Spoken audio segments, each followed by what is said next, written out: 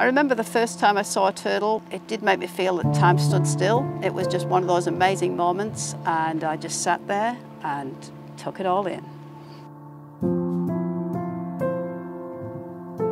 And this is the sort of thing I'd love to share with the guests.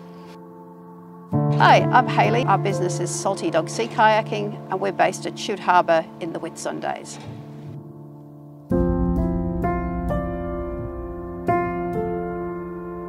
What I love about the Whitsundays, well, the people are really friendly. Uh, the weather is generally great. Lots of outdoor activities. There's walking, fishing, kayaking, snorkeling, diving. The islands are here, the reef, the, the sea life, you name it, it's all here.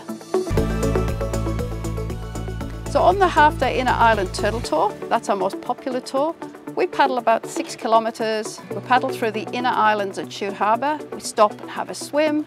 They can snorkel and um, have like a little snack. Yeah, we often do some turtle spotting, sort of medium level fitness.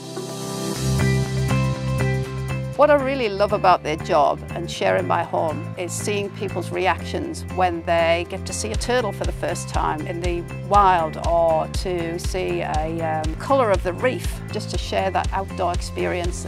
People have never seen this before.